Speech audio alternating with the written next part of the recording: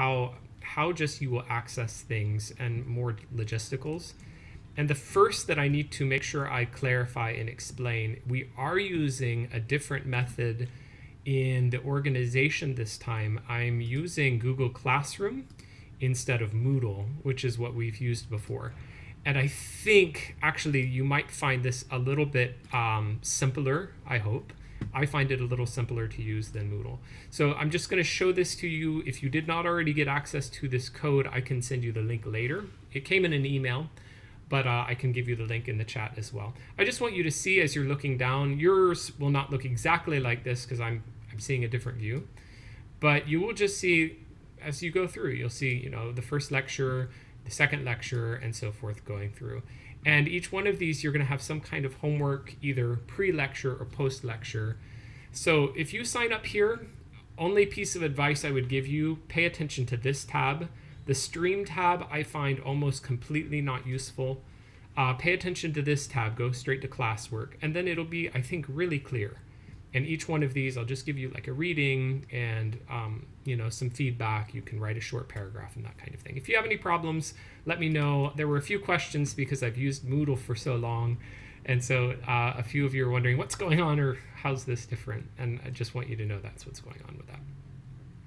Um, and then let me show you one other thing before I get started, which is that I want you to just know the teachers that we have coming up.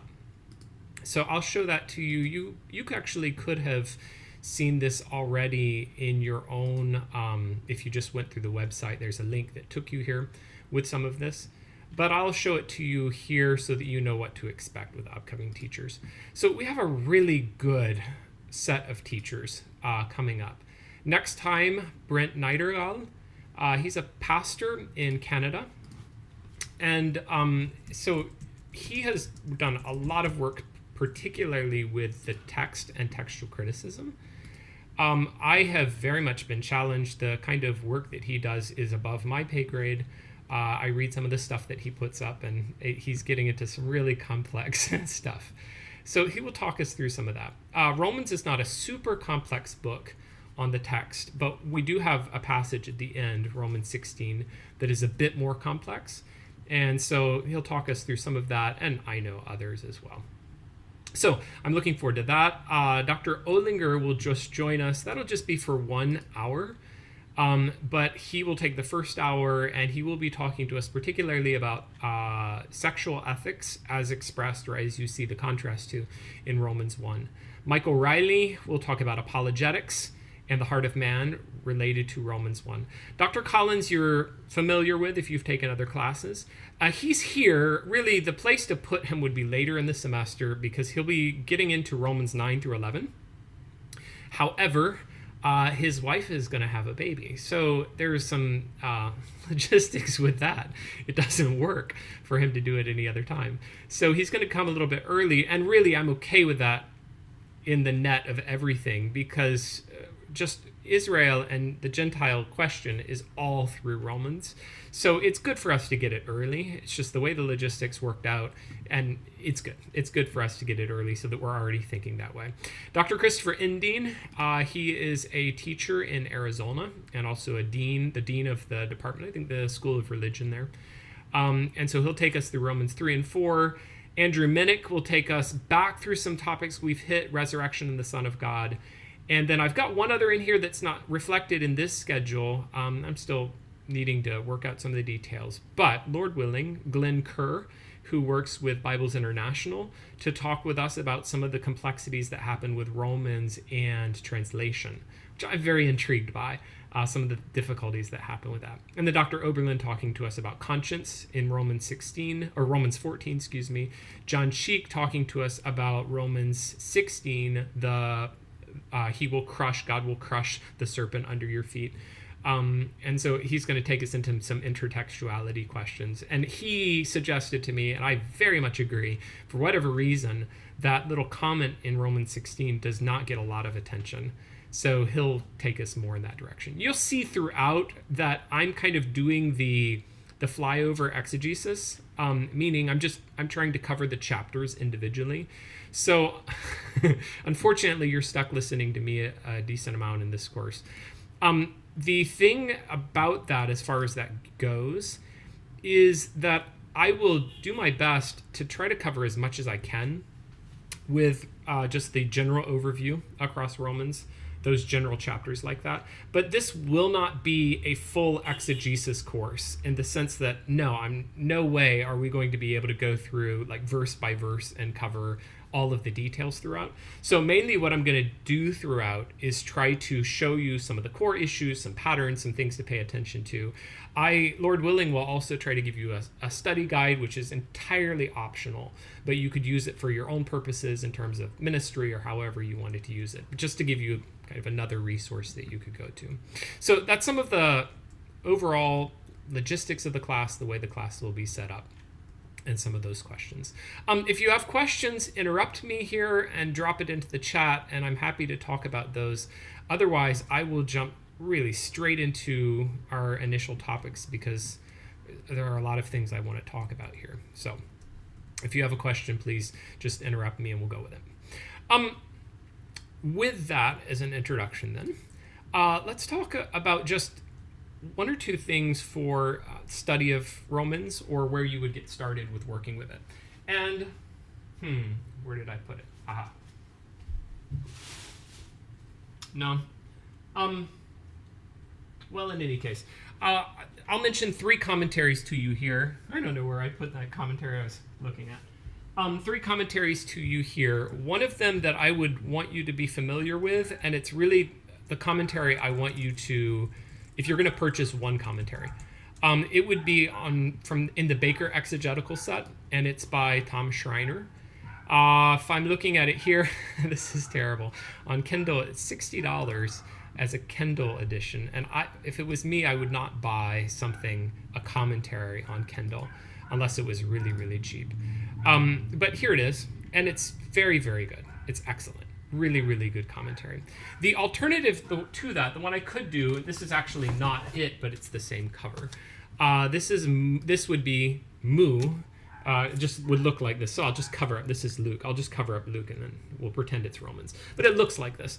Um, and it's Moo on romans and it's kind of the other standard major commentary that you can do um, the other though is a two volume and it's expensive uh, and this is another that is, um, well, anyway, it's a it's kind of a core volume. It's a slightly critical.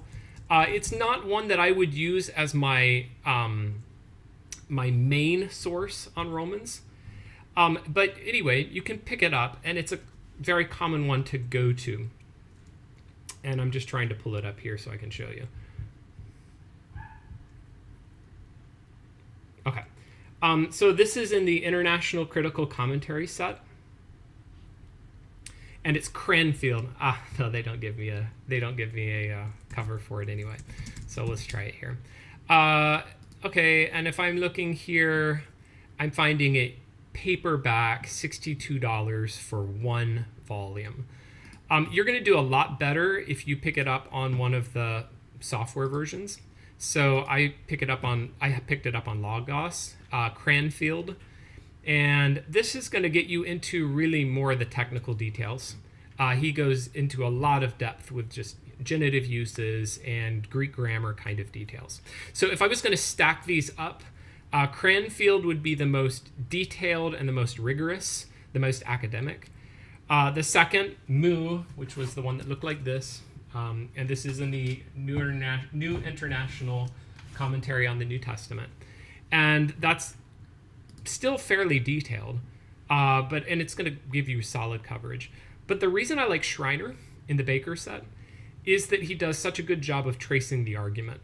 And that's really, I, I appreciated that. I don't get lost in the weeds. I don't get lost in all of the details of genitive uses, but I really benefit the most, I think, from just tracking the argument. So anyway, that would be my recommendation. If you're going to make a purchase for this course, if you don't own Schreiner in the Baker set, uh, I really you should you should probably buy it. If you don't own one of those three commentaries at all, um, then start with Schreiner, and then from there, if you're still looking, still wanting to expand out and do others, then then you could continue consider Cranfield, or you could consider Moo. All right. Um, I gave you uh, just a reading assignment to cover the theology of Romans, and I also I will do a lot in this lecture. Here's another just great resource for some of the questions that we'll talk about tonight. Um, yeah, okay. Thank you for that good good comment there. Cranfield is forty dollars on Logos. Um, Moo and Schreiner both into second editions. Yes, so good. Um, and well, I'll make a comment and then come back here. Uh, this is another good resource for the introduction, New Testament introduction. it's a terrible image, sorry. Um, so maybe you can see it a little better. But this is uh, Carson and Moo, and they just give you the like the different details, date, provenance, what we can know about just the general overall purpose, some of the interpretational questions that come up. And a lot of my lecture tonight will be drawn from there if you are interested in going further into this, uh, I worked through Carson and Moo, and then I worked through Schreiner, same thing, the introduction. And Schreiner just takes, he basically takes the same positions, he just t- covers it in more depth. So your short flyover, like maybe 20 pages of introduction to Romans in Carson and Moo will get you started, and then Schreiner would take you into more detail with that. Um, interesting comment here, and I'll I'll comment this because this will kind of take us into what we're going to talk about here. Um, so one of you commented in the chat that Moo and Schreiner are both into their second editions. Um, the interesting thing about Romans and Roman studies is, you know, you would you could be tempted to think, okay, so surely everything that needs to be said has been said, and you would definitely be on the wrong track. We'll just say that because actually Romans and Roman studies is kind of hot right now um, or has been, because there's there are significant issues that are still getting raised on these questions. So that's where I want to start here tonight. We will talk about this a bit more later on. The question of having to keep up with the latest perspective on Romans, and pers- particularly if you're familiar with this particular issue, uh, the new perspective a new perspective on Paul, and attempts to kind of reconfigure Romans. Um, there are reasons that I don't go that direction, but I want to talk about that some in this class, though I don't plan to go too far in it. So, yes, actually, there is a lot of reason that uh, commentators like Moo and Schreiner would move to a second edition because it's moving, and there's discussion that's happening, and there are questions that have to be answered, and even interpretation that's getting deepened uh, even within just our lifetimes, the last decade or the last two decades. So let me start with an introduction, and it's a quote, um, or not a quote, but yeah, well, it is. It's it's his own writing. Here's Martin Luther reflecting on Romans. In spite of the ardor of my heart, I was hindered by the unique word in the first chapter of Romans, the righteousness of God is revealed in it. He, he doesn't give the antecedent here, but the righteousness of God was revealed in the gospel. I hated the word or the expression, the righteousness of God. Because, in accordance with the usage and custom of the doctors, I had been taught to understand it philosophically as meaning, as they put it, the formal or active righteousness according to which God is righteous and punishes sinners and the unjust. As a monk, I had led an irreproachable life. Nevertheless, I felt that I was still, I'm interpreting, a sinner before God. My conscience was restless. I could not depend on God being propitiated by my satisfactions. Not only did I not love, I actually hated the righteous God who punishes sinners. Thus, a furious battle raged within my perplexed conscience. These words, righteous and righteousness of God, struck my conscience as flashes of lightning, frightening me each time I heard them. If God is righteous, he punishes. But by the grace of God, as I once meditated upon these words in the tower, the righteous shall live by faith and the righteousness of God, there suddenly came into my mind the thought that if we as righteous are to live by faith, and if the righteousness of faith is to be for salvation to everyone who believes, then, critical foundation of the Reformation, it is not our merit, but the mercy of God. Thus my soul was refresh, refreshed, for it was the righteousness of God by which we are justified and saved through Christ. These words became more pleasant to me. Through this word, the Holy Spirit enlightened me in the tower. Um, very intriguing personal testimony because what you're getting here is what do you say? I mean, this is deeply personal theology. This is a deeply personal struggle. It's deeply practical And what it hinges on is exegesis. so it's his exegesis of Romans, his understanding whether he reads righteousness of God one way or reads it another way, that is making all the difference in his salvation, his understanding of the gospel. And historically, you realize, of course, off of that, a, a, a correct reading of the righteousness of God and understanding it in context a correct reading of that that gives birth to an entire historical movement, the Reformation, that is significant enough if you pull up any textbook on world history. The break with the Catholic Church, Protestantism, is a, is just at least a massive catalyst around some historical forces that were already happening, but move us in some directions that we're continuing to play out. You know, well, more than 500 years later. so you've got some things here. I mean, we're doing exegesis of Romans, but your understanding of the book like this has massive consequences, at least in this one person's life, and even then now in world history, because Martin Luther would trace this back his reading and his interpretation, his understanding of the Psalms, Galatians, and Romans as kind of the turning point for him. Okay, so this is a big deal, essentially. Um, and one other comment I'll make in here, which is this is related to the new perspective on Paul question.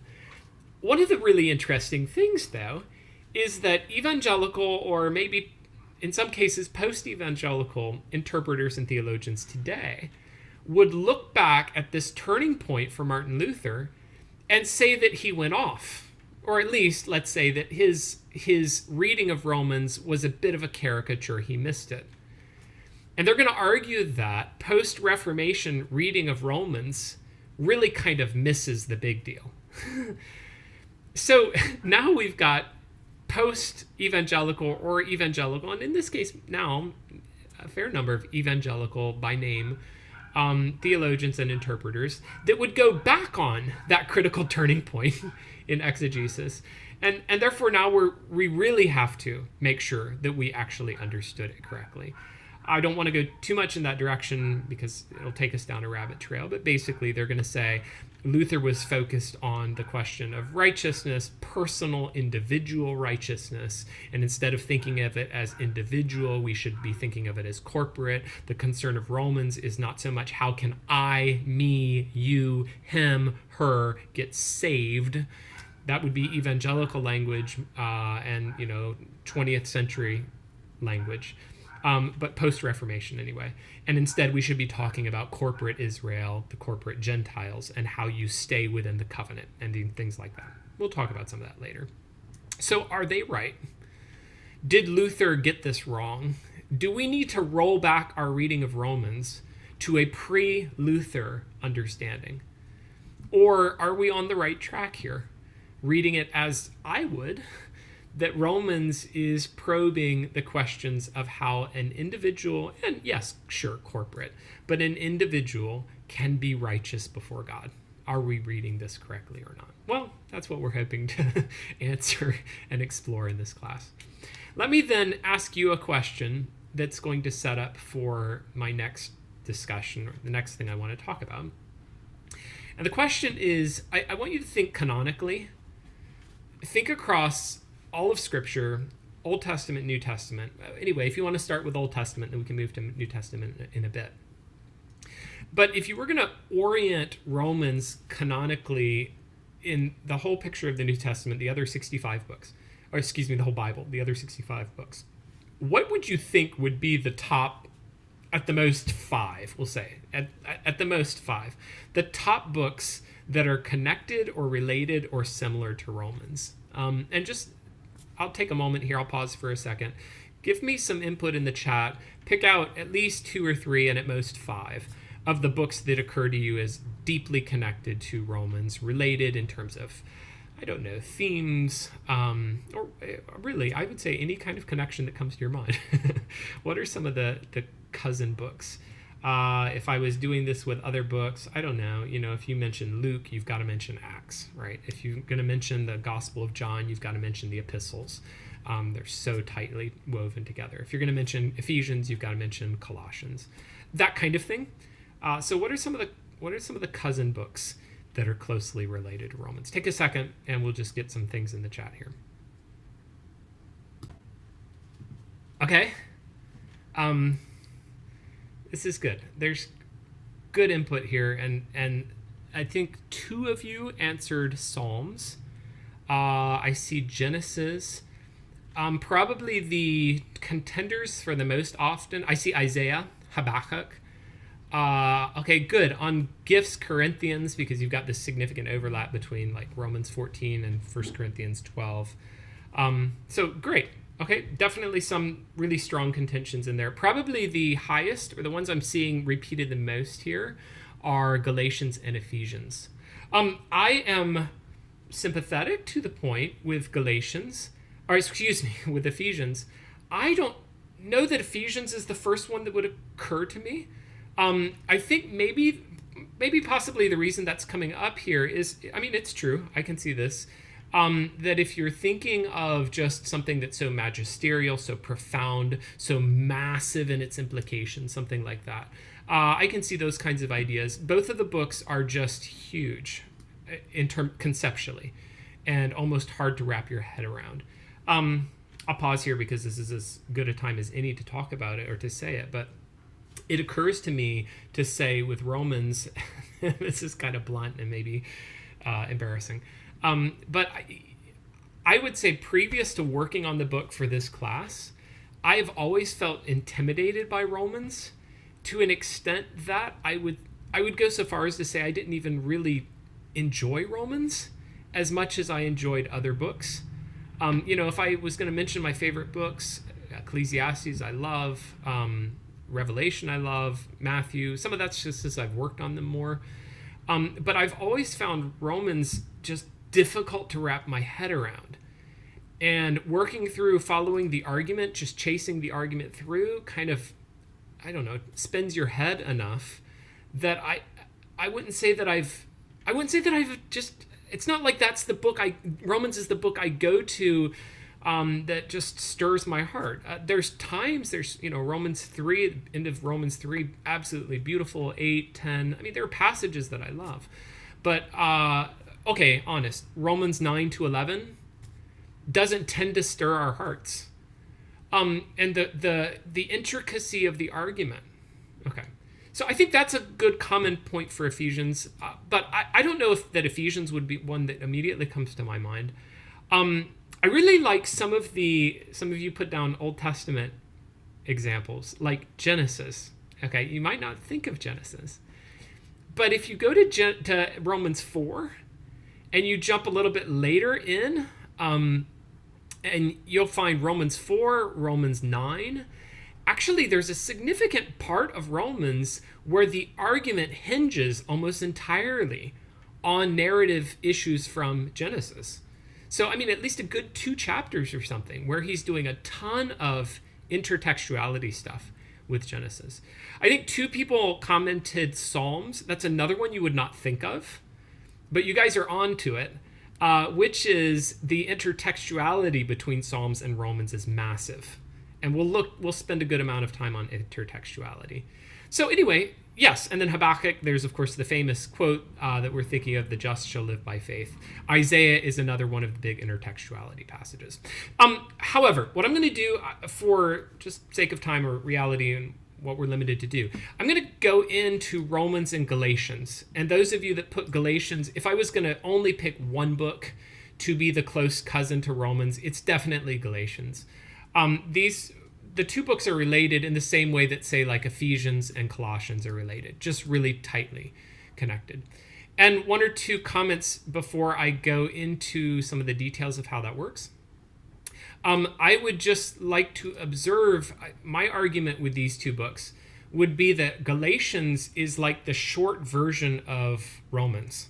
Galatians precedes Romans in terms of when it was written, but I read Galatians as like the concise version of Romans, almost as though he took the argument of of Galatians. Later, he expanded it out, and we got Romans. I mean, that maybe is overstating it, but not entirely uh, both books have a very similar trajectory. And what I mean by that is both books follow a similar flow of thought. Let me show this to you this way. Um, here, I just have it in four steps. Defining the gospel. If you think of Romans 1 and Galatians 1 through like the middle of 2. Salvation is by faith. Romans 4 matching up with Galatians 3. The gospel brings freedom in place of the condemnation of the law.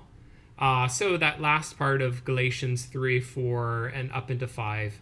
And then the freedom of the gospel is the freedom to obey God.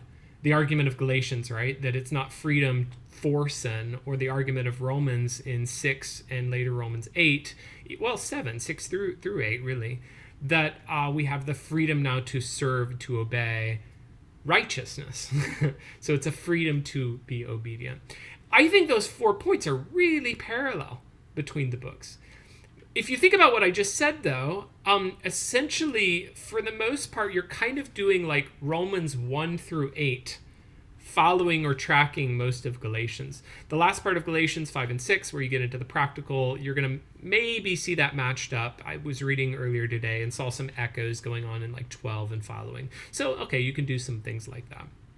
But I would say those four themes are the things that really capture my mind or capture my attention. And if I focus in on Galatians a little bit, uh, Galatians starts out with this contrast between the true gospel, Paul's gospel, and the other gospel. Pay attention in Romans, and you're going to have a lot of gospel language in the early chapter, or the early part of the book, like chapter one, uh, followed by Paul's apologetic for his gospel. And then, uh, worth paying a special attention to, Galatians 2 16 to 21 is like a core section.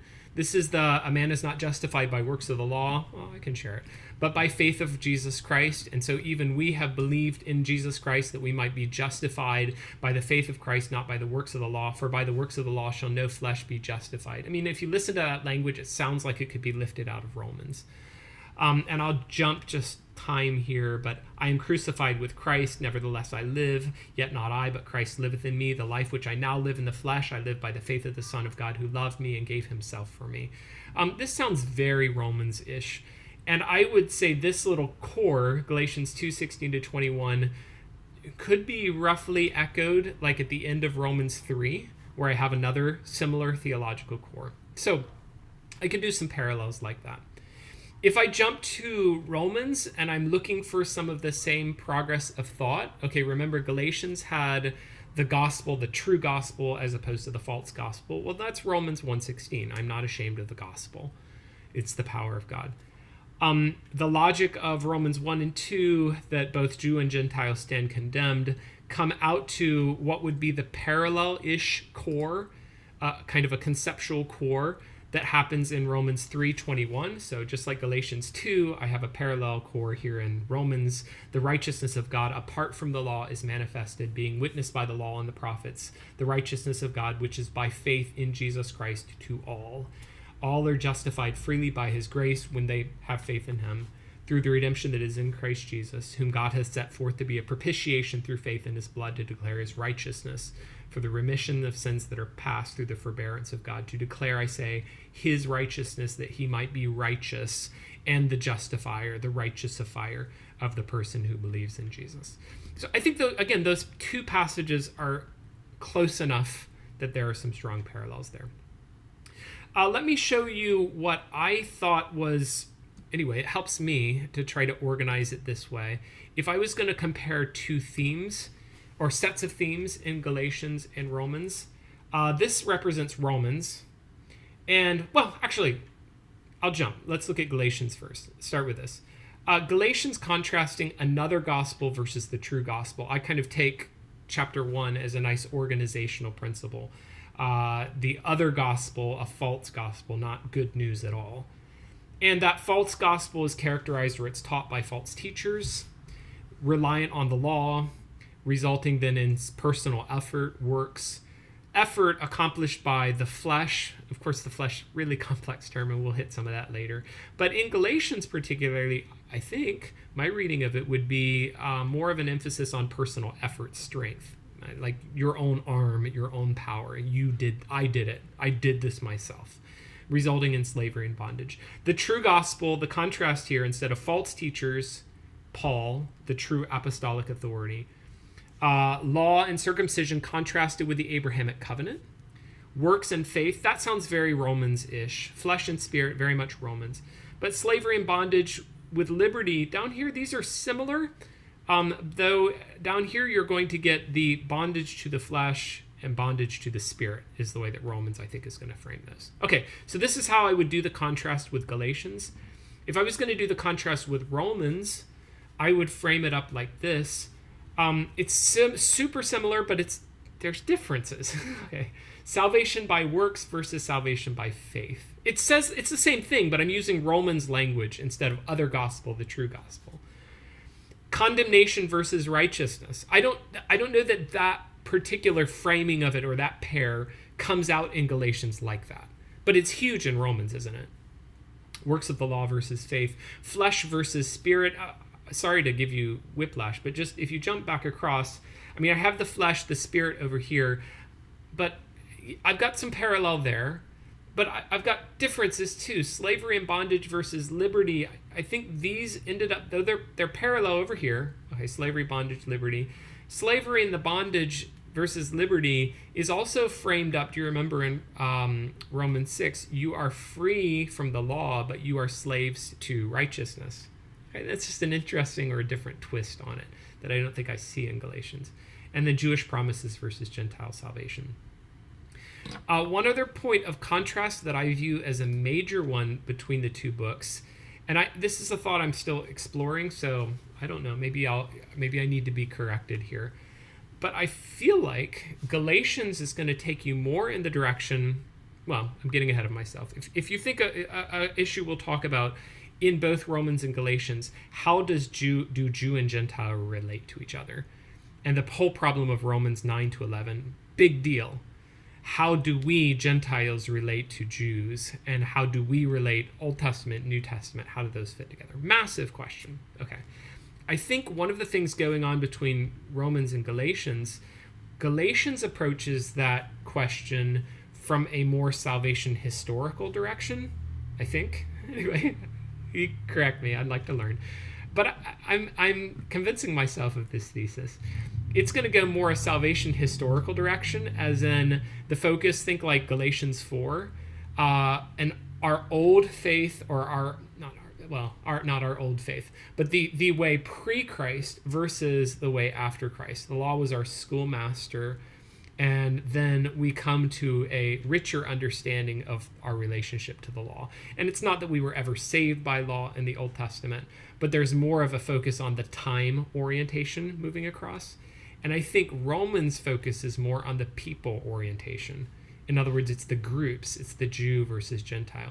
Those are so interwoven that I don't think you can unstring them. In other words, salvation history time is always interwoven with Jew and Gentile and the groups.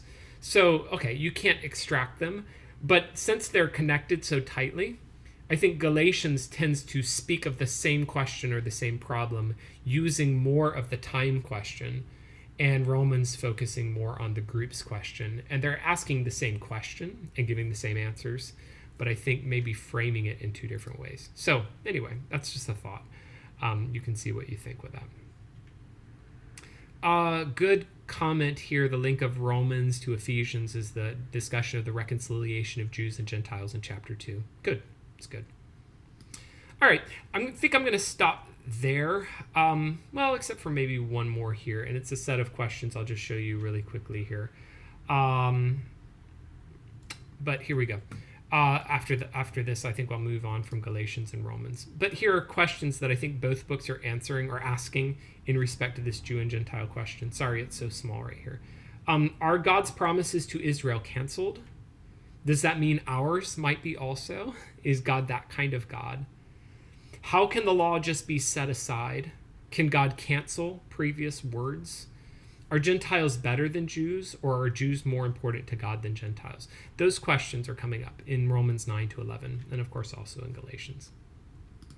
All right, I think that's it that I will do on the topic of Romans and Galatians. If you have um, further input, happy to happy to talk about that further. Otherwise, I'm going to move to Romans and intertextuality. And uh, I think this is super interesting, partly because we did a lot of work with intertextuality uh, last year. and I, partly just because it's um, it, well, it's very significant. This this was a major point of learning for me. I just did not realize that this dynamic was going on. So what I did is I, I relied on Logos a lot here, uh, and I'll show this some of this to you in a bit. But their intertextuality browser is excellent, really, really good. Um, sometimes I feel like the uh, the the price of Logos. I, I'm gonna I'm gonna go for it just for the sake of some of these tools like this. It's really good stuff. And actually, you don't have to get that deep into Logos to get some of these tools. Um, so I find myself going to Logos for the sake of this. Uh, if I do a comparison with Romans and I want to know how much intertextuality is there in Romans versus the other New Testament books, I just pulled out of their resource. I am only going for citations and what do they call it? uh, citations and quotations. They have two other categories: echoes and allusions. Echoes and allusions are just if they're it's kind of like the language is there, but it's not super clear. Okay, but a citation or a quotation is either it says as it is written, or as Isaiah said, or you know. Uh, I think that's in Romans. Isaiah is very bold and says, you know, that kind of thing. That would be a citation and then a quotation is where you have an extended a phrase, an extended set of words, three or four words at least, that are almost verbatim. I mean, you can trace them back to like the Septuagint or the Masoretic text. Okay, so in other words, these are the really strong cases, not just stuff that uh, sometimes I look at the Logos module and like,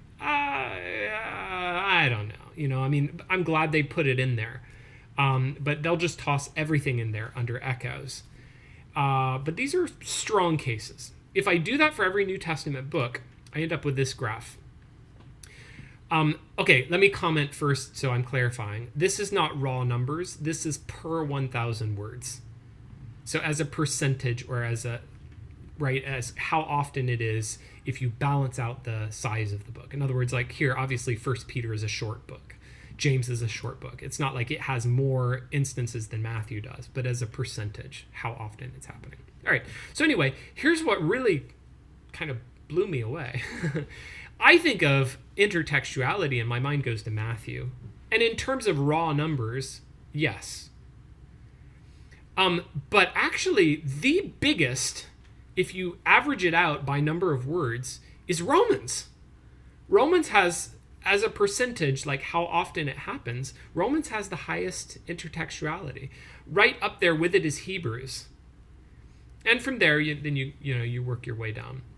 In some of these cases, statistically speaking, First Peter is a smaller-ish book. I mean, it's still got a lot of intertextuality, but you know, as you get into the lower levels, maybe those numbers aren't super representative because it, it kind of skews. There aren't that many words in the book, really. Romans and Hebrews are massive. What's going on with that? Here's the table where I just pulled that in. Um, and some of this even is interesting. Uh, citations 67 citations in Romans, seven quotations. So anyway, Paul is when when he's when he's doing it, he's also giving you this "it is written" kind of format, or Isaiah says.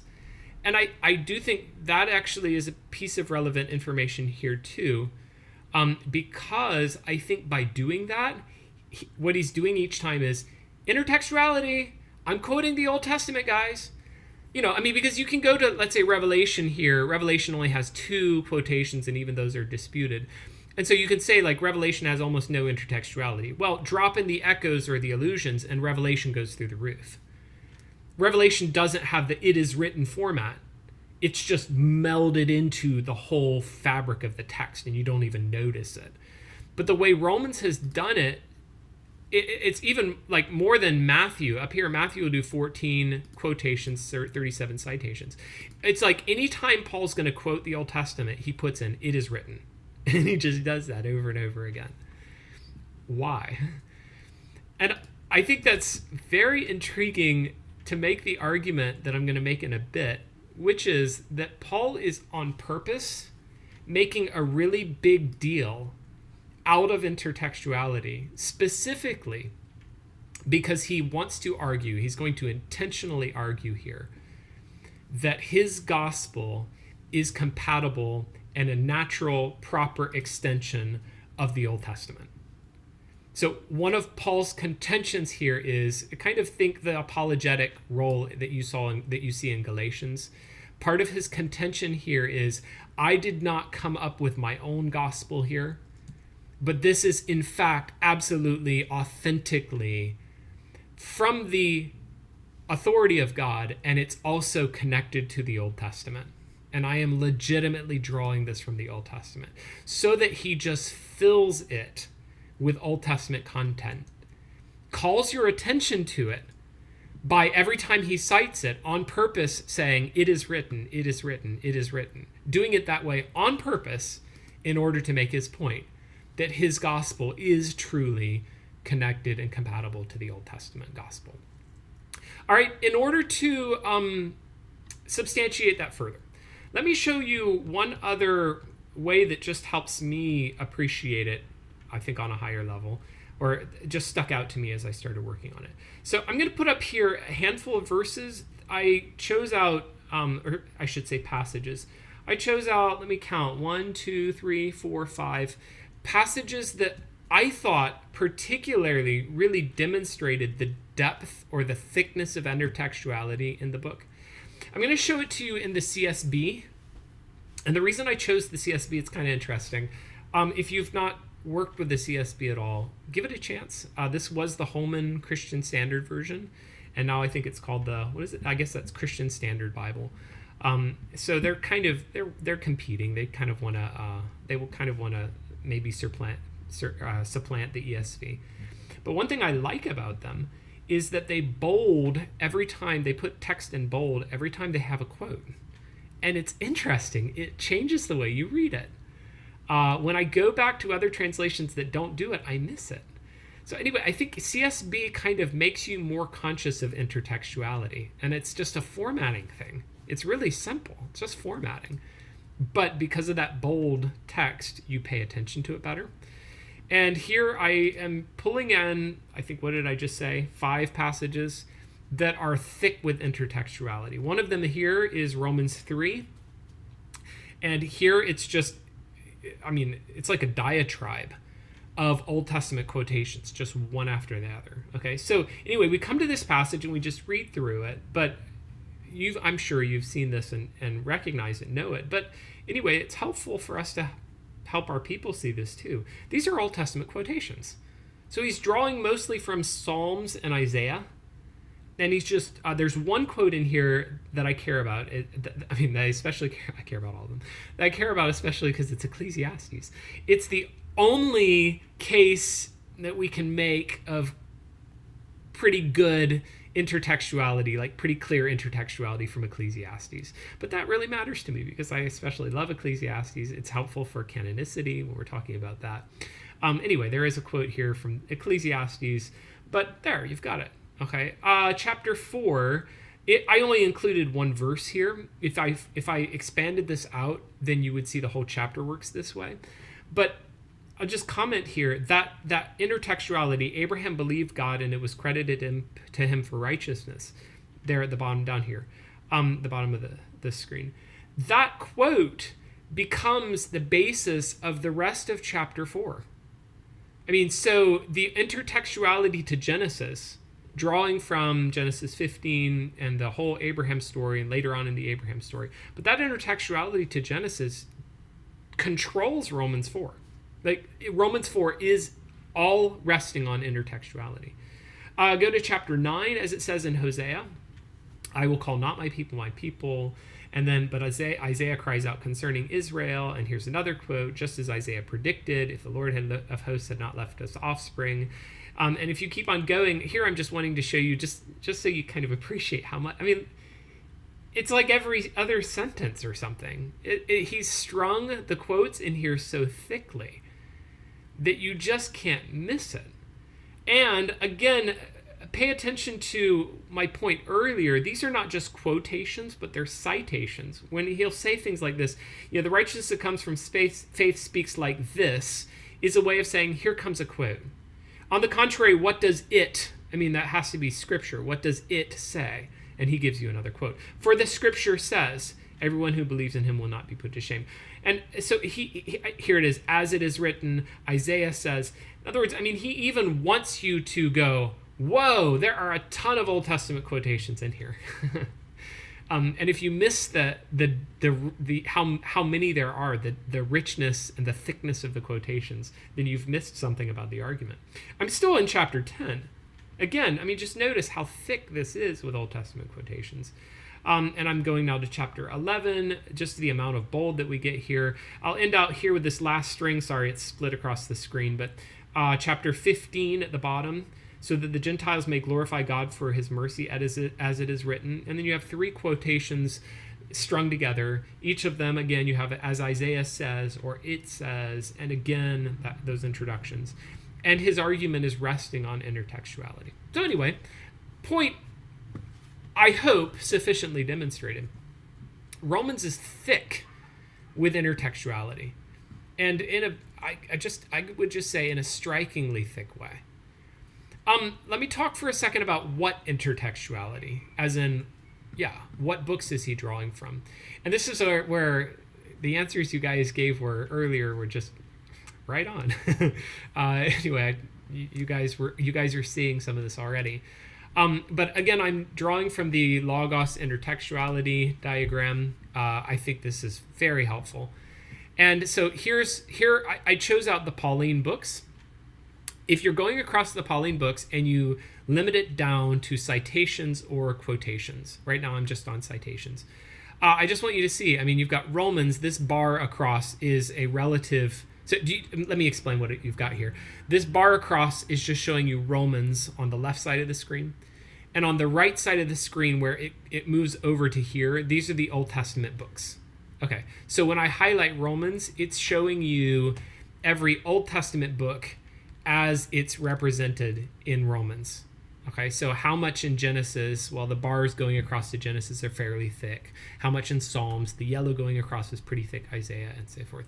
And if I just look across and compare, I mean, there's First Corinthians. First Corinthians is not. I mean, it's it's almost as long as Romans. They're they're I forget the difference, but it's like in the hundreds of words. Okay, so I mean, First Corinthians and Romans very parallel in length, but look at the difference in how much intertextuality I have. From there, I'm going to go to Second Corinthians, Galatians, Ephesians, and that's it for citations. Let's try quotations. If I do that, I get more. And this balances out a little bit more. You can see, I mean, there's relatively less on Romans, and I go across and I have other books, Pauline books, that have a, a decent amount of intertextuality. But anyway, I think point made either way with citation or quotation, Romans is thick. I'll go back here. Let's just pay attention to which books. Uh, the books that you guys said. so, so my pick would be Psalms, Isaiah, and after that Genesis. Genesis not as many specific passages as Psalms and Isaiah. But the thing for Genesis is that basically the entire argument of Romans 4 and most of the argument of Romans 9 is built around Genesis narrative. So even if it doesn't give a quotation, I mean, you've got two chapters out of the book that basically rest on Genesis Abraham, later Pharaoh, and um, Jacob and Esau in chapter 9. So Genesis is massive. Uh, Deuteronomy is there too, but anyway, not like Psalms and Isaiah are going to be. Okay. Um, so again, give us a sense of where Romans is drawing to. Let me break those down by specific books. I took some time and went through each one of them and just I read through all the passages in uh, those books, the intertextuality passages. And if I was trying to summarize them, I would break it down like this Genesis is basically linked to the Abraham story, but also the later on Jacob and Esau and Pharaoh. Uh, which I guess I mean we're now in Exodus for that in that case. Uh, Deuteronomy, the biggest cluster is probably around the word is near you in your mouth. You have the revelation. God has already revealed himself. That kind of idea that comes up in Deuteronomy, um, especially towards the end. Psalms, the biggest cluster is the the depravity cluster in Romans 3. You know, there's none righteous, no, not one. A bunch of those are Psalms. And then Genesis, or excuse me, Romans 15 with that the Gentile salvation section. A decent number of those come out of Psalms. Isaiah, the biggest cluster there is the hope for Israel. that you get in chapter 9, again in chapter 10, again in chapter 11, also uh, Gentile salvation. If I'm breaking it down in Isaiah, Isaiah 52 and 59 are a bunch of the passages, um, or just a larger proportion of the passages that are that are occurring there. Okay, so that's that. But one more point to make before I leave intertextuality is that I want you to appreciate why why I think this is such a big deal or why this is critical to the argument of Romans. And I would invite you to notice here at the very beginning of the book. Um, actually, I did other references and I don't remember where I put them. But at the very beginning of the book, I, I just invite you to recognize here Romans 1 1, Paul, a servant of Christ Jesus, called to be an apostle, set apart for the gospel of God, which he promised beforehand through his prophets in the Holy Scriptures. Um, I remember one off the top of my head, and it's chapter 16. If you get to the end of the book, you're going to get the same thing. Um, this here, the according uh, well, him who is able to strengthen you according to my gospel and the preaching of Jesus Christ, according to the revelation of the mystery that was kept secret for long ages, but has now been disclosed, and through the prophetic writings has been made known to all nations according to the command of the eternal God to bring about the obedience of faith To the only wise be glory forever and ever. In both passages, what did you get? I mean, central to his argument is that my gospel, he's saying, matches the Old Testament prophecies. My gospel is not anything new.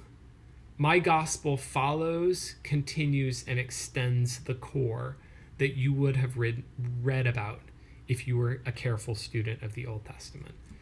And I don't think I ever appreciated that about Romans um, until working on this. But it, it's a theme. It's there. It's a big. It's actually a, a big deal. And uh, paying attention to the intertextuality and how much of it happens, I think highlights it. So that would be my candidate for the parallel to the Galatians concept.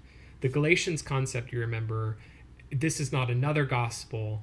Um, the false gospel. It's not another gospel. My gospel is the true gospel, Galatians 1. How do you know it's the true gospel? Well, look, I didn't get it from anybody else. I got it from God. God gave it to me. And so this is the true apostolic legitimate gospel. Okay, that's the argument of Galatians. I think my candidate for that in Romans would be the parallel argument that's happening here in Romans 1 and Romans 16. The argument that Paul, right at the beginning when he starts out, uh, this is the gospel that was promised beforehand through the prophets in the Holy Scriptures. And here, I'm setting that gospel before you. This gospel is not contrary to the Old Testament, it completely conforms to it. All right, that takes us right to 8:59, so we should take a break. So can I can we get back in at let's say 9:05 and um, where we'll go with the remainder of our time today is I'm going to give some go more in the direction of the background for Romans. So, like NTI, want to talk with you about the NTI of Romans, and then get into a thematic theological overview. Though I anyway, I can't do that much of of that much with it, and conclude out with the structure of Romans.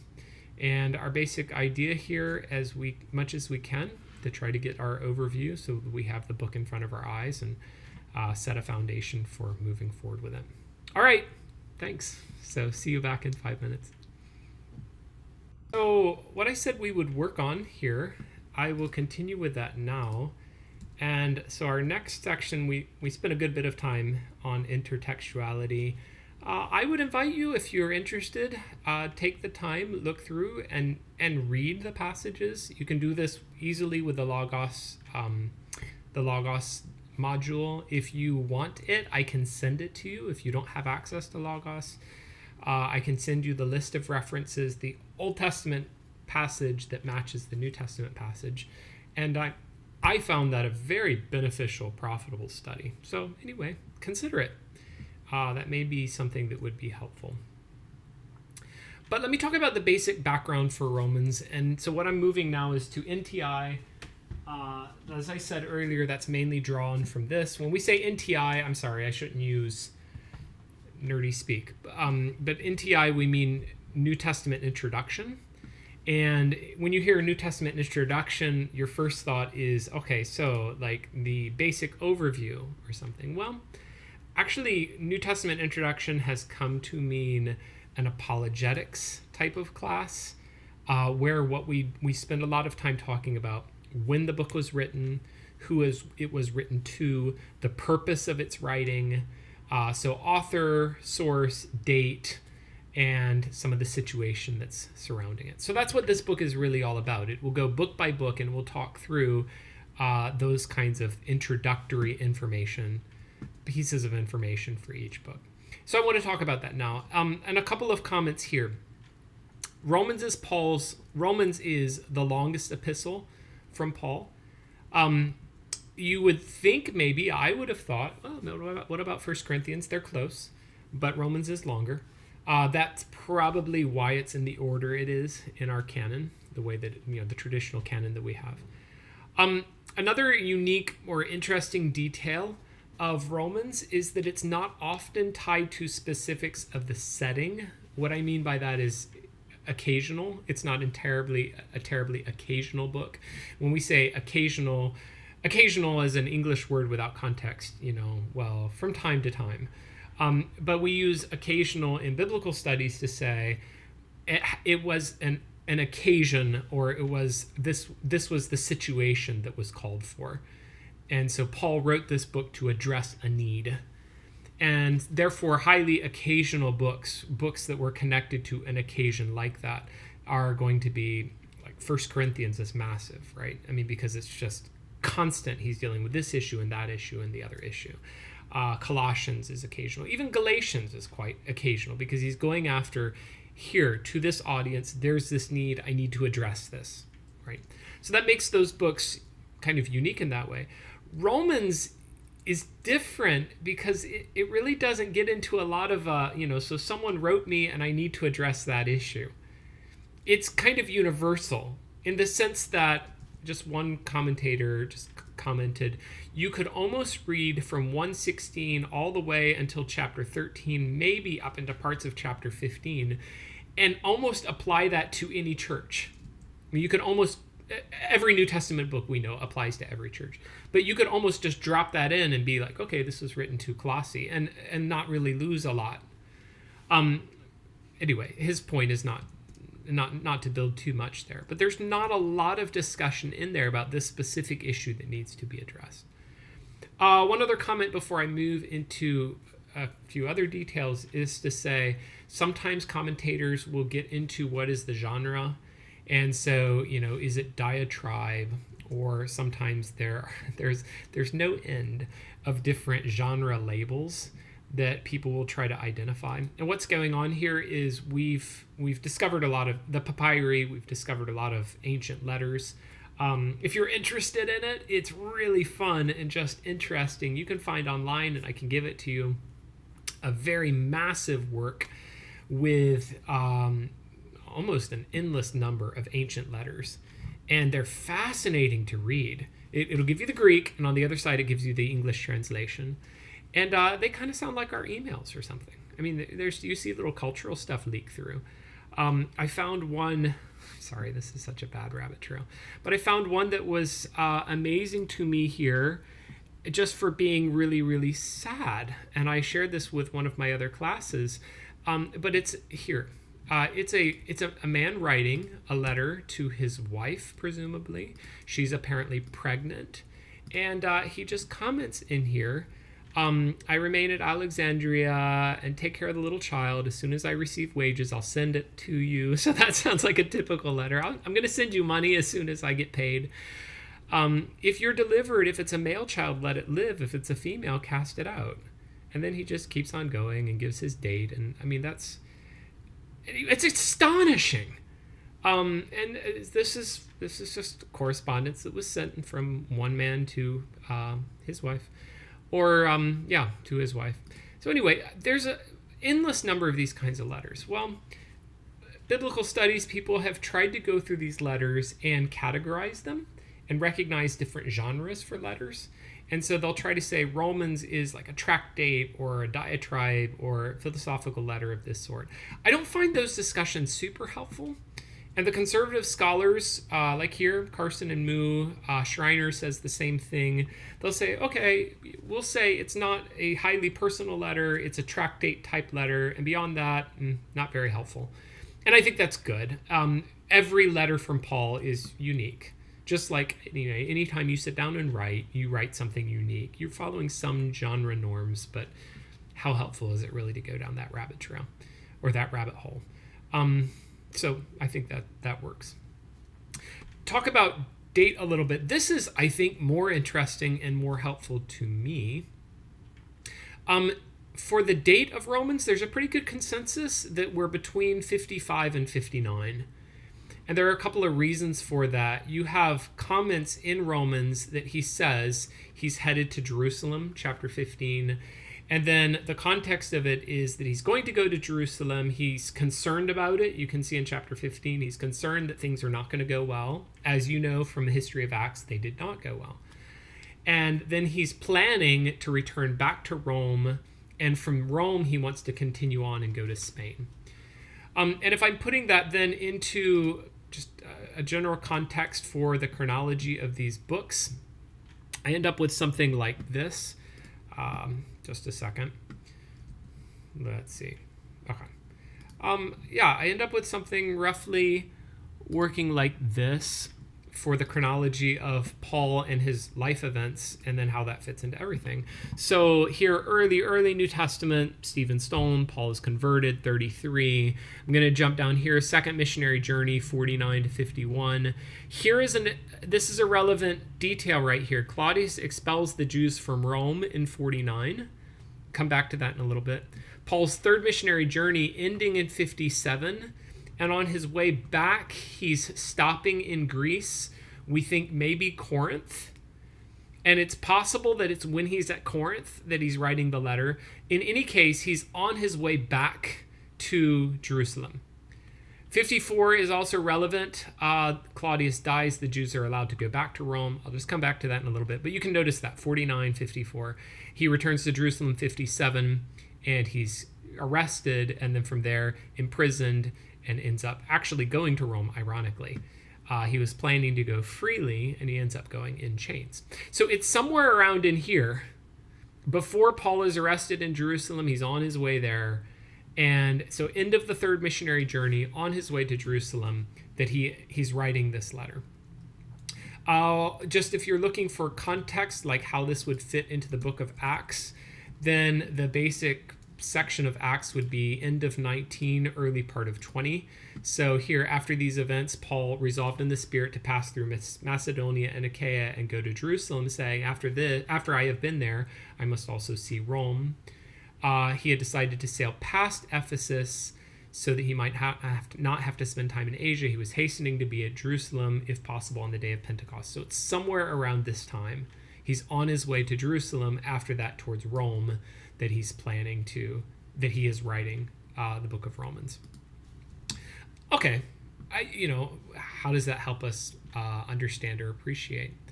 Well, part of what's going on here is that he is writing Romans, among other things. One of his purposes is writing to them in the anticipation that he would come, that he would visit them in Rome, he would preach the gospel to them also in Rome, uh, chapter 15. But from there, then, he wants to return back and to be helped by them in the cause of spreading the gospel all the way out into Spain. And here I'll show you Romans 15 24. I hope to see you in passing as I go to Spain and to be helped on my journey there by you, once I have enjoyed your comfort for a while. At present, however, I'm going to Jerusalem. I'm bringing aid to the saints. Macedonia and Achaia have been pleased to make some contribution. They were pleased to do it. Um, when therefore I have completed this and have delivered it to them, so he's going to go to Jerusalem, deliver this offering. This is the offering, like the famous offering that comes up in Second Corinthians, right? His goal to take this offering to Jerusalem, kind of a relief uh, or a help. When I have delivered what has been collected, I will leave for Spain by way of you. Um, and so if I just strip out the context here on these two verses for the word Spain, going to Spain, I will pass by, and to be helped on my journey there by you, I will leave for Spain by way of you. part of the goal in Romans is he's he's inviting the church in Rome to be part of making it happen for him to go. He wants them to be part of this process. Um, and so he's inviting them to join in with it. And I think that's helpful. That helps us understand one of the purposes. It's not the only, it's not even maybe even the main purpose, but it's one of the purposes that Paul has for writing. I'll come back to that in a bit. Let me talk first about the recipients of the letter. Um, so I'll give you the answer and then I'll explain why or my reasoning behind it. The recipients, my understanding would be these are Jewish and Gentile Christians together, mixed in one church. Jewish and Gentile Christians in Rome. Um, we don't know exactly how the church in Rome got established. There's very good reason to believe that it was not uh, an apostles starting the church. It, it was not Peter or Paul, um, and different reasons for that. So, our best guess probably is something like after Pentecost, then people, Jewish people who heard the gospel, returned back to Rome and they started a church. I think that's the, that's probably the most sensible and simple answer for how that happened. However, do you remember I just showed this timeline a little bit ago? Uh, I think it was like 49 and 54. Um, 49, we have a couple of different details to support this. Apparently, there was enough rioting and mess and headache going on with Jewish uh, opposition to Christianity and other kinds of Jewish rioting. There's a lot of rioting happening actually in Jewish circles in the first century. That uh, the emperor kicks all of the Jews out of Rome. I say all. Um, we would assume not every single Jew, but a significant number of them. And you have reference to this actually in Acts. Um, so you remember Aquila and Priscilla are probably kicked out of Rome, expelled. Acts 18:2 just refers to this. They're probably kicked out of Rome, and that's part of Paul meeting them. They're Jewish. That's part of Paul meeting them in Ephesus. Okay. So that's 49. 54, then the emperor dies, and so Jews return back to Rome again. And it's very plausible that what you had going on in that case is a church that's started by possibly Jews, Pentecost, and then the Jews are kicked out. Five years later, you come back, and when you return, there's the church. It's like the church that you were part of. But while you were gone, what do you think? The church became way more Gentile because you were gone. um, so anyway, that that might be like overreading the data, but anyway, I, am this is not my in, invention or something. I mean, this is part of the construction that's plausible. It's hard to demonstrate, but it's plausible that you'll pick up in some of the standard commentaries. So if that's the case in any, in any case, um, that could be a piece of it. In any case, however you wanted to configure that data, there is plentiful evidence in in Romans that Paul is addressing Jews. And I'll just show you some of the examples that I mean by that. So, uh, just so you you uh, you follow my idea here, um, he's going to address both Jews and Gentiles, and I want to show you that both are here, starting with Jews. If you call yourself a Jew, do you not know brothers? That that is actually Jewish language. For I'm speaking to those who know the law. Uh, here, these Greek Priscilla, Priscilla and Aquila, which we know from Acts, they are Jews. Also, these names are Jewish, or we have reason to believe that they're Jews. My kinsman Herodion. Um, so we have enough information here that, I mean, at least some of the people he's greeting here demonstrably are Jewish. And then other passages in here that refer to people being Jewish or Jewish kind of concepts. We also have a decent biblical support in Romans or data to say that there are Gentiles in the group. Okay, so I'll just show you a couple of these, but the idea here is for the sake of his name among all the nations, this is ethne, so Gentiles definitely included, including you who are called to belong to Jesus Christ. And that's a plural, and he's referring to them as part of the nations, which would not be the typical way to refer to someone who's Jewish. Um, I want to reap some harvest among, watch this, among you as well as among the rest of the Gentiles. I am speaking to you, Gentiles. Um, here, uh, I don't remember the context here or the argument here. But in order that the Gentiles might glorify God for his mercy, this is that string of passages demonstrating the Gentile salvation concept. And, well, anyway, uh, it is my desire that Christ, what accomplished Christ, Christ accomplished through me to bring the Gentiles to obedience. From Jerusalem to, to Illyricum, I have fulfilled the ministry of the gospel of Christ. Um, all right, so I don't remember the exact link there, but anyway, extended passage there. Anyway, put that information together. We've got enough data to say that, yeah, there's Gentiles in this church as, as well. Okay, so as people try to construct their understanding of Romans, they could either downplay the Gentile passages and say, no, Paul's actually writing to Jews. Or you can downplay the Gentile, the Jew passages and say, no, he's actually writing to Gentiles. And depending on what your other exegetical, like your exegetical project is, how you want to frame Romans, um, you can kind of bend the evidence either way. uh, I think it's Carson who argues or just says that it's easier if you wanted to make a case, the better case would be that Paul is writing to Gentiles. But the best case would be that Paul is writing to both and that's that's the way I want to understand Romans, and I think that best represents the information. Both are part of the church. There are Jews and Gentiles here. He's addressing both of them. There's no particular evidence that um, there's disunity in the church per se, but he is probing or exploring the Jewish Gentile question a lot in this book. And there are both Jews and Gentiles that are part of that conversation that are hearing this, that are working through the information. Well, so what then would be like the theological purpose, or how do we, yeah, how do we understand his purpose, what he's intending to accomplish here? Um, and again, you can you can put forward if you have a like a narrow exegetical project, you want Romans to work a certain way or something, then there are a bunch of ways that you can focus in on a single purpose. Again, I think the richest explanation of the purpose of Romans is that there are multiple purposes. And let me show those to you as far as my understanding of what those purposes are. So, specific multiple purposes, including first, um, specific pastoral needs. The most occasional section like in other words uh, specific or suited to them. The most occasional section of the book is chapter 14 and this is the um, you know whether you eat or you don't eat question. So weaker brother stronger brother question. Um, okay so there is some occasional content in the book. And i think it's intriguing and helpful here that paul knew so many people in rome chapter 16 there's this long list of names. It shows that he knows something about this situation I mean, he's familiar with the church.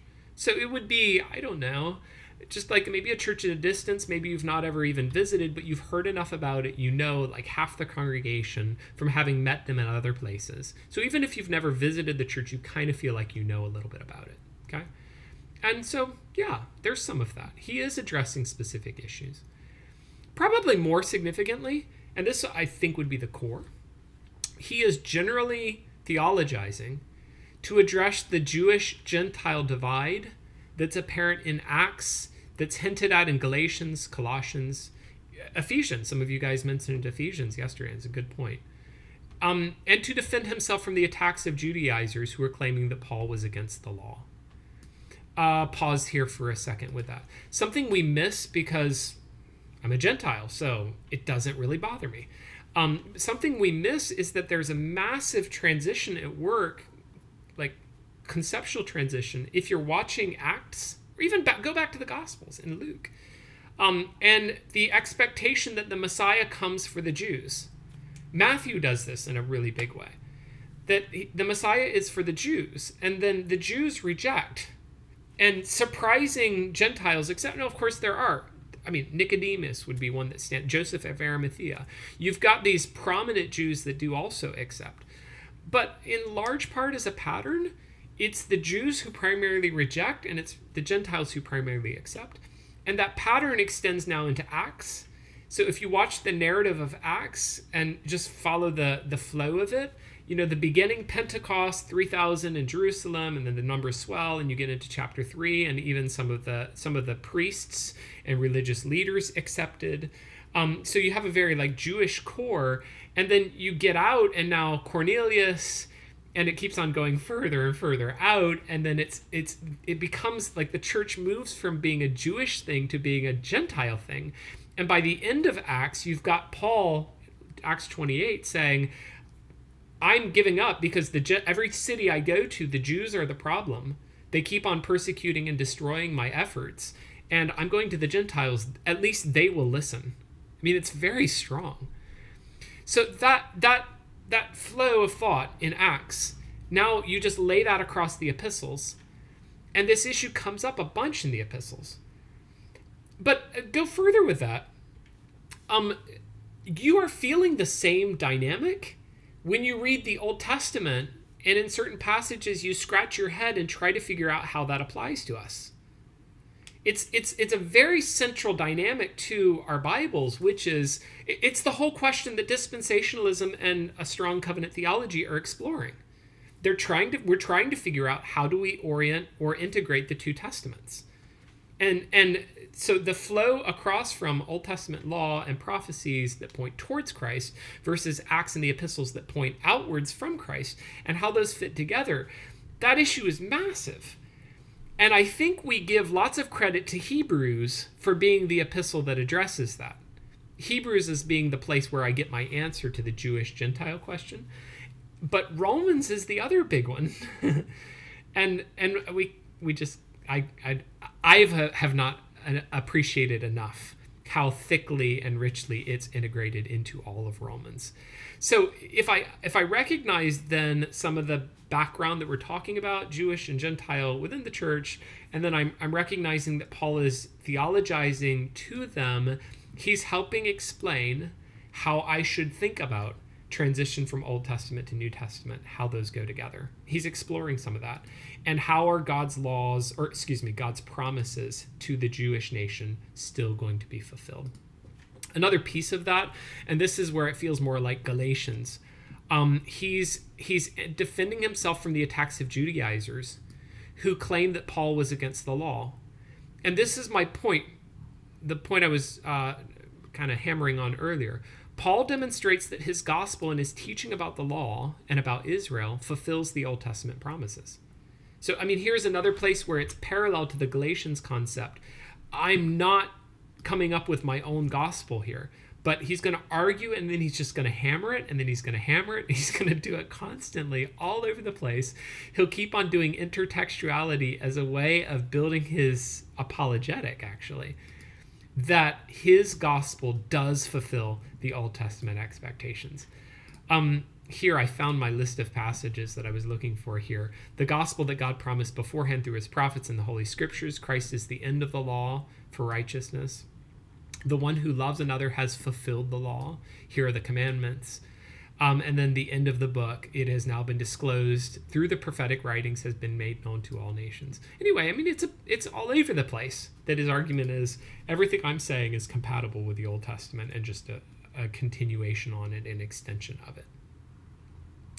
Okay, uh, there were there's another purpose and a half uh, that we can talk about. Okay, so the purposes that I already said were specific pastoral needs in Rome and then general theolo- theologizing on the Jewish Gentile divide. Here's a big one, though, and it's preparing the church to join in Paul's missionary endeavors in Spain. I'm not going to look at the references for this one because we already did in Romans 15, and then it's I think it's mentioned again in in chapter one.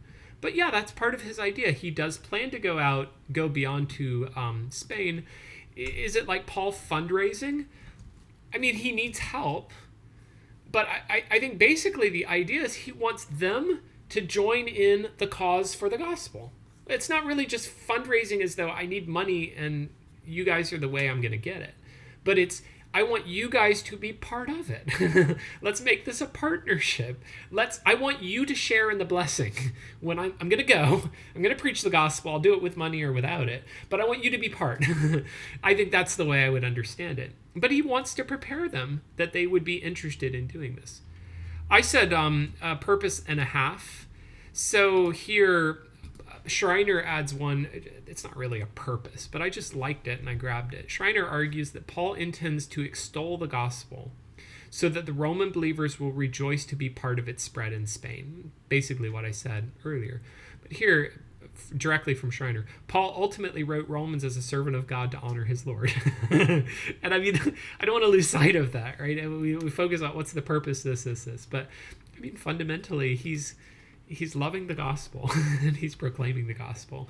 And uh, i just thought that was that was great to keep keep ourselves centered in that. I won't take time with this one. Um, the integrity of romans. When we say integrity we don't mean i hear integrity i think lying or you know telling the truth or lying. Um, by integrity what we mean by that is the the book is one book as opposed to like several books that were kind of put together or something and uh, the only generally Romans for there I'll say this nobody has articulated a thesis of Romans was originally three books and then somebody stuck it together. Nobody has argued a thesis like that that has really stuck. so the integrity of the book itself mostly has held. Um, I will say there is an issue, and Brent, I think, will talk about this next time. The basic issue is 1625 to 27. It's like a doxology at the end. And that has appeared textually in the textual history. That's appeared in five different configurations. So it's appeared at the end of 16. It's appeared at, like, I think, at partway through 15. It's appeared at the end of 14. In other words, we've got different texts and different configurations of it. And so for some people, they'll say, well, actually, there's a decent case that there were some of the church fathers who had a 14 chapter version of Romans. I don't mean just that it was divided that way, but they didn't have 15 and 16. Um, I want to say Tertullian, but don't quote me. Anyway, one of the fathers speaks, it sounds like he thinks the end of the book is at the end of chapter 14. I don't think that necessarily cripples us. Um, you know, if you're talking about a day when everything has to be handwritten, the last two pages got ripped off. I mean, anyway, they got lost. Um, you know, I okay. The fact that he had a shorter version doesn't mean that the original was shorter. And the actual best thesis that explains the data is you remember Marcion? Marcion uh, didn't like the Old Testament, and so he tried to cut up. I mean, he actually did. He cut up parts of the New Testament and actually rejected the Old Testament, made it evil and stuff like that. Well, he apparently didn't like chapter 15 on because you've got a lot of data in there that's connected, link, linking into the Old Testament. I would argue that it's through the entire book. But anyway, um, there's at least, I think it's Origen who says that Marcion chopped off the last two chapters in his edition. So there's a decent argument that that edition got around to some people, and and that's what we're looking at. Um, in any case, the way I'm talking about it sounds like there's a lot of uncertainty. There's not. The data, the textual data, though there are these other configurations, the textual data is pretty strong. That, okay, we, we had a 16 chapter book. It's just one or two of the church fathers had a shorter version of it. For whatever reason, that's what they got. But there, there's a very good argument to be made that this is what we've got 16 chapters, and, and there's good support for that. All right, I want to move to the next topic, which is to talk about the thematic or theological center of Romans, how to read it, and how to how to orient ourselves or how we're gonna how we're gonna frame our understanding theologically. Um, so I'll talk about structure in a bit. You've got like four major sections, and it's kind of interesting. Depending on a person's exegetical project, how they want to frame Romans they will read the book through one of those sections. Okay, so here I'll show you the, the chart, and then I think this will make sense. Um, but to some extent, rightly or wrongly, this is a criticism that gets thrown at the reformers. But people argue that the reformers are primarily reading all of Romans through the lens of chapters 1 to 4. I don't think that's fair. I think particularly like Calvin is reading Romans just really well. um, but whatever. So people will argue that they read Romans 1 to 4 as the center, and therefore justification by faith is the core of Romans. Um, another option is to read chapters 5 to 8 as the center, union with Christ, the Spirit is the center, that's the core. And so you read everything else through that lens. Chapters 9 to 11, salvation history for Jews and Gentiles, so that you understand what I mean by that. You see Dunn, uh, who's a foremost or leading pers- uh, representative, or was anyway, of the new perspective on Paul. The framework for this would go all of Romans is there just to argue Paul's case that Jews and Gentiles ought to be united and s- stop fighting with each other. And so we read all of the rest of Romans through the lens of 9 to 11. Or you can go here and if you if you put a lot of emphasis on what I observed earlier, Jewish Gentile groups within the church and so how do they interact? If you put all your emphasis there, then you make it all about 14 and 15 and you read the whole book through that lens. Um I don't want to do any of these exactly uh, you know the the tradition of the reformers reading they get they get beat up a lot for their reading of Romans. Um, like I said, particularly Calvin is just reading it really well. I I think, but in any case, I want to read the whole book and not try to stuff the entire book through one section. Okay, the whole thing stands together. And if we were looking then to try to pull it together, uh, here, I'll, I'll actually put this up. You can read along with me. But Carson and Moo will just say that uh, Romans is Paul's statement of the gospel. Anyway, I, I like that. That's good. Romans is Paul's statement of the gospel. That includes issues of salvation history. Since, and I'm quoting now, the way in which the relationship between the Old Testament and the New Testament, between law and gospel, Israel and the church, is expressed the degree of continuity and, continuity and discontinuity is fundamental to the construction of any Christian theology. I mean, if you're going to read theology in a Christian way, you've got to answer the question of the testaments. But Romans supplies the basic building blocks for the construction of that foundation. So basically, what is the gospel? And they'll continue on Paul's argument, even though we have the Jewish Gentile question. Paul's argument is still deeply concerned with salvation for any individual. I don't want to go here uh, because it's a really hairy, messy question, um, and it gets into new perspective on Paul's stuff. But just passing, the new perspective on Paul wants to say, no, it's not about how do I get saved. It's it's corporate, it's group. It just doesn't fit. Romans one to eight. There's it doesn't fit the reading of Romans 1 to 8. I don't think it fits a human reality. I want to know that I'm going to be with God, that I'm going to have my sins forgiven. And I mean, I care about the people around me, but each one of us has to know me and God. what is my standing before Him? So, sure, there's a corporate element that in individualistic Western contexts we miss, but there's also a reality of every individual standing before Almighty God. That's just reality too. So that's what I'm arguing here, and and I think that I love this. This is just really it's helpful. It's just Paul's statement of the gospel. Here's Calvin. Uh, Romans is about, or the theme of Romans, man's only righteousness is the mercy of God in Christ when it is offered by the gospel and received by faith. So, way to go, Calvin. It's great. Um, Calvin foresaw, foresaw all of the new perspective on Paul stuff and anticipated it all and covered it all in just one sentence. So that's Calvin for you. Um, one or two other comments before I go to structure. This is a bit of an excursus, but I, I talked about the background. And um, Romans is a central battleground, really, for background or the assumed background shaping the way that we think about our interpretation. So I want to comment about that. In other words, what I mean by this is if you assume Romans is written to to to um, Gentiles, you can frame the book one way. And if it's okay, no, it's only written to Jews, you can frame it another way. More significantly, this is the new perspective thing again. If you assume some things or you argue some things about Judaism in Paul's day worked this way, or Judaism in Paul's day worked that way, you can reconfigure the whole book. And they do. so your background, your assumed background, as in, okay, this is what I think was happening, can end up reshaping your entire reading. And I would just like to interact with that. Dr. Collins has taken us here before, uh, an extended ar- argument for this.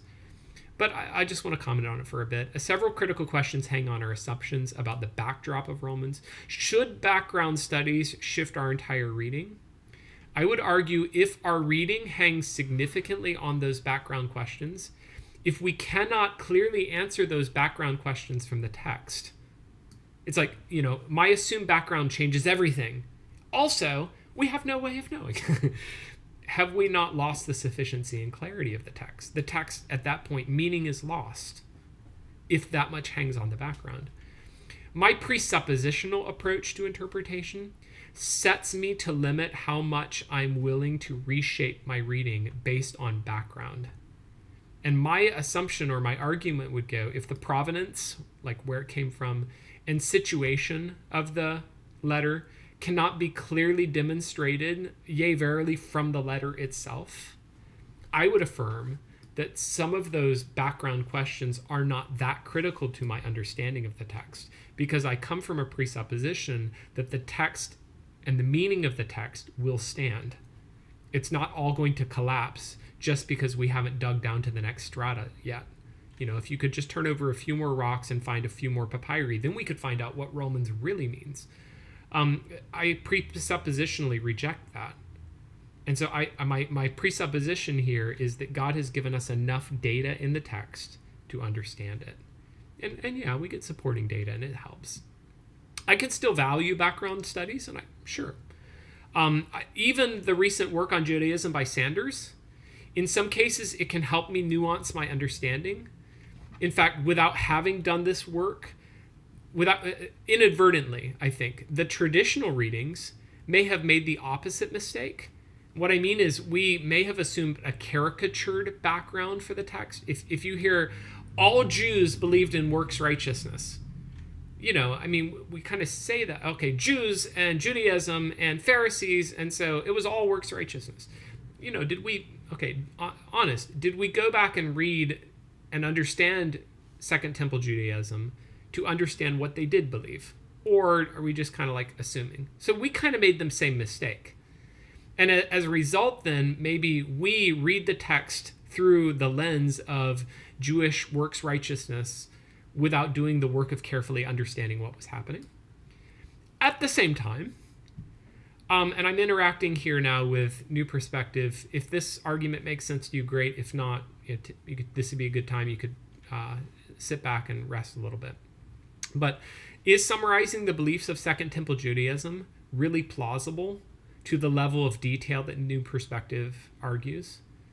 Um, my feeling on this would I appreciate someone summarizing the beliefs of 21st century Christianity at this level of detail and then reading all of my writing against that background. Can you really summarize 21st century Christianity? Christians in 2021 believed. What do you put in the blank? Christians? What do you. That's like everything. I mean, there's all kinds of things that people called Christians say. So, I mean, just to summarize, Christianity in 2021 believed XYZ. Three bullet points. No, it's way more complicated than that. Okay, well, that's how Judaism was. So you can't just say Judaism works righteousness or Judaism covenantal nomism. It's not that simple. And even in Acts, it's apparent that the Jewish authorities, sometimes even the apostles, are still working out their understanding of Christianity and salvation history. What if Paul is addressing a specific group of people? Uh, when we read about the opponents of Jesus in the Gospels or in the Apostles, that actually better fits the traditional reading that we're assuming as background for Romans than the new perspective.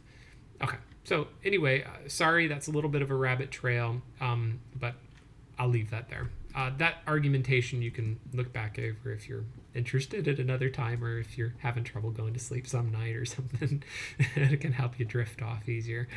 Um, I'm gonna here end out with the uh, the structure of Romans, and I'll show you a couple of outlines.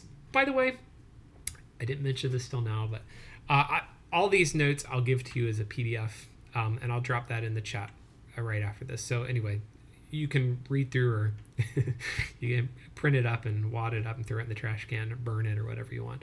But I'll send you the PDF for it if you want access to it. I took a couple of outlines. Here's Cranfield. Uh, so this is that that more academic uh, international critical critical commentary two volume, the really expensive one, um, unless you get it on Logos, and then it's not so bad. Uh, but here's his layout. Okay, so you have a prologue. Pretty much everyone recognizes that, and then kind of an extended prologue. So almost it's like one one to sixteen is introduction content. The one one to seven is prologue all the way. Um, the theme of the epistle 116 and 17. So I'm not ashamed of the gospel. It's the power of God. And then 118 through 425, uh, the righteousness which is from by faith alone. 5 through 8, then 9 through 11, 12 to 15, and 15 to 16. Okay, I won't read his breakdown because I think this is just the relevant part of it. Basically, that like division of things, eh, some variation, but that's basically what everybody does. So I'm going to show you ESV Study Bible. I thought I, actually like this outline the best. Maybe it's just really simple. It's easy to grab. Uh, I just pulled out the main points so you can see it. But anyway, there's kind of like the prologue and theme. 118 to 320, God's wrath against sinners. 3 and 4, the saving righteousness of God. So anyway, Cranfield had these two together. Uh, ESV Study Bible splitting it, but yeah, whatever. Hope is a result of righteousness. So 5 to 8 hangs together. Pretty much everybody knows that. 9 to 11, 9 to 11 hangs together and some kind of Israel and the Gentiles discussion. 12 to 15, practical living. It's like the practical turn of the book. And then the end of it is probably focused on the Spain mission, uh, you know, his visions, his, his missional visions, with a conclusion.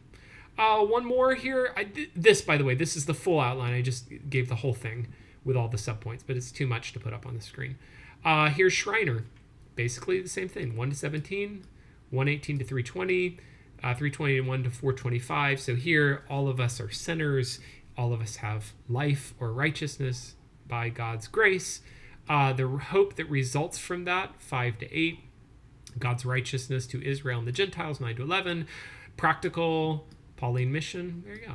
Anyway, I, I just wanted to show you three different outlines to show you actually the way that we divide up Romans is not terribly under in dispute um, pretty much the commentators are going the same direction, and just it's kind of how you how you do the labels, um, how you want to how you want to label or summarize each one. But pretty much we're looking at the same blocks, the same blocks of text. Okay, um, yeah, I don't remember how the in the in the chat here. Just a comment. Uh, Naselli summarizes Romans God's righteous way of righteousing or justifying the unrighteous.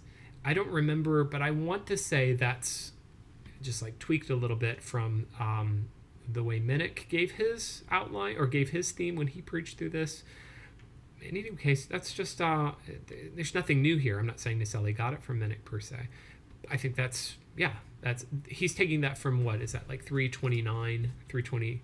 Yeah, I think it's like 329, 26 to 29 that section. Uh, that God may be just and justify the ungodly. So, yeah, and that's definitely context or uh, a critical statement. How much you know do you integrate the other pieces, or how much do you focus in on that uh, kind of Reformation focus, the first part of the book? But yeah, it's good. Well, I didn't expect to have the seven minutes left here, but I am very glad to. I'm going to I, I have some data here that I was going to save for a future lecture, but I'll do it now, and that will just give me a little bit more time in the future.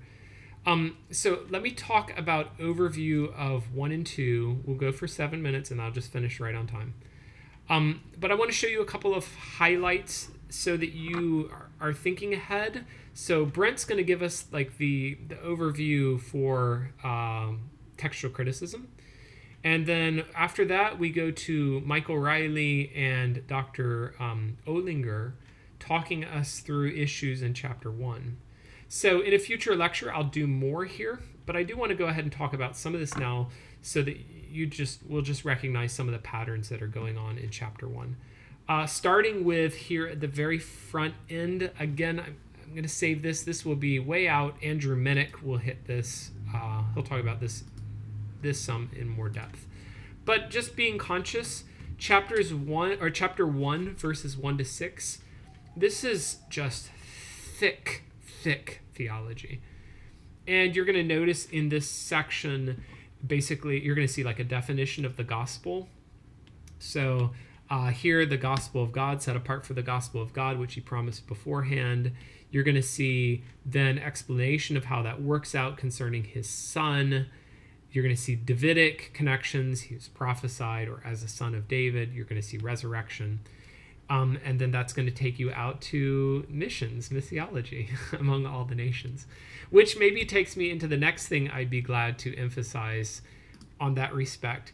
In this first chapter, you're going to get a lot of, I'll just call it universalizing language or a universal focus that anticipates the all, every salvation is for every person Okay, so let me show you what I mean by that universalizing kind of concept.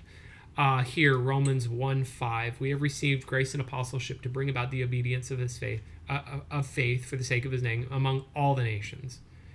Uh, to those who are loved by God, all those in Rome who are called to be saints. Um, I thank my God that your faith is proclaimed in all the world, both to Greeks and to barbarians, to wise, to foolish. I'm not ashamed of the gospel. It's the salvation for Jews first and also to the Greek. So, universalizing, which is to say, basically the subtext salvation is not just for Jews, salvation is not just for Gentiles, salvation is for humans, and it's for the world. That kind of concept. Also, worth recognizing the pattern that stretches across both chapters this salvation both for Jew and Gentile language. So here, similar kind of construction here in 116 to the Jew first, also to the Greek, tribulation, distress, for the Jew first and also the Greek, glory and honor, everyone who does good, good the Jew first, also the Greek. Um, again, just a repeated pattern that he keeps on doing in both of these two chapters. And that sets me up to say this my reading of chapters 1 and 2, my understanding of the first part of Romans, is that Paul's argument, you've heard this, very traditional. Paul's understanding of, or Paul's foundation is salvation is for Jew and Greek because both Greek or Gentiles, what he's talking about, both Gentiles, chapter 1, and Jews, chapter 2, stand condemned under God's righteous law. Gentiles, because they have that law in their hearts. Jews, because even though they have the law, they don't listen to it. All of us in trouble. all of us stand condemned. And that universalizing all, every, all of us are in trouble kind of concept then becomes the foundation. Actually, if you keep on going out there, it's going to point all the way to chapter 3 the verse that we we quote a lot romans 3.23 all have sinned and come short of the glory of god um, but all have sinned keeps on going all can be justified because all are guilty. so actually the the universality of the curse or the universality of the sin, Gentiles are condemned because they're doing all kinds of manner of wickedness.